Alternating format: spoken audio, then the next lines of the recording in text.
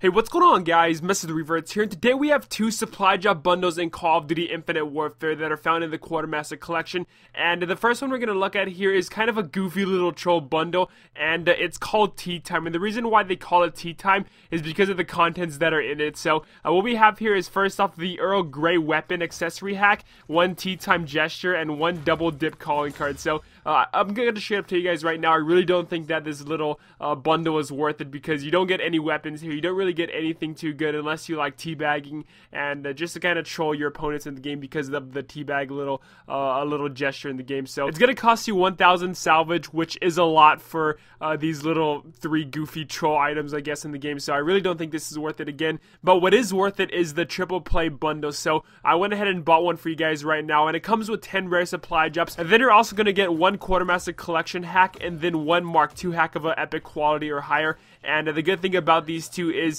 uh, they are dupe protected as well, so that is pretty cool. But uh, only one of them is, and you can purchase up to 10 of these. So uh, I definitely do think that you can get these pretty easy by the time it ends. They end in, nine, in 10 days actually, and they cost 400 keys or 2,500 COD points. So I definitely do think you can get 400 keys in 10 days. Like that is very easy to do. You might even be able to get like three even too if you just grind the game out that much. And if you want to spend COD points, obviously you can get even more. So I definitely do think this triple play bundle is worth it absolutely.